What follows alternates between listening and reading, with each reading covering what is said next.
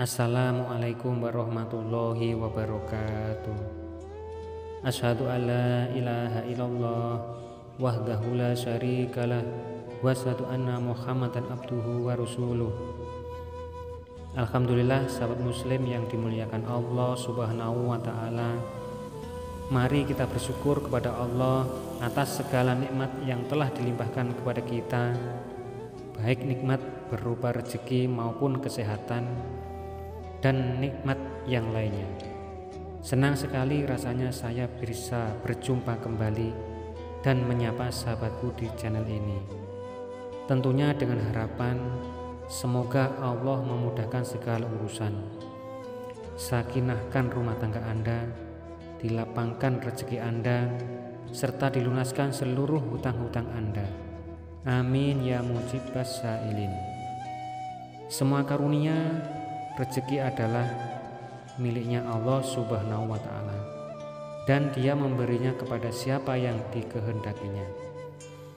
Banyak orang yang resah, cemas, serta khawatir rezekinya tidak ada, bahkan takut rezekinya berkurang. Islam mengajarkan umatnya agar senantiasa untuk berdoa tapi tentu saja kita barengi dengan usaha dan kerja keras. Ada juga salah satu ikhtiar yang harus dilakukan untuk memperluas rezeki adalah memperbanyak ilmu, beribadah, serta bersedekah.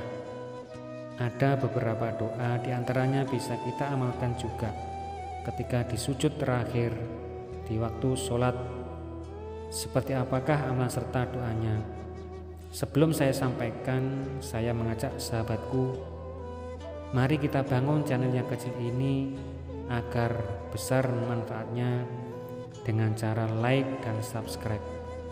Bagi Anda yang sudah subscribe, tak lupa saya doakan agar selalu diberi kelancaran rezeki dan dilancarkan segala hajat oleh Allah Subhanahu wa taala.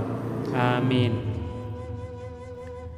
Inilah amalan doa serta tata caranya yang bisa sahabatku amalkan. Bismillahirrohmanirrohim. Allahumma suk ilayya. Allahumma suk ilayya. Lakukan dan dibaca ketika sholat di waktu sujud terakhir. Terserah sholat apa aja, entah itu sholat wajib atau sholat sunnah Bacalah sebanyak tiga kali saja, baca di dalam hati, jangan diucapkan. Lalu panjatkan hajat serta permintaan sahabatku semuanya. Insya Allah dengan penuh keyakinan dan istiqomah, apa yang menjadi hajat Anda akan cepat terkabul. Alhamdulillah, semoga apa yang saya sampaikan bisa bermanfaat bagi sahabatku semuanya. Amin. Akhirul kalam.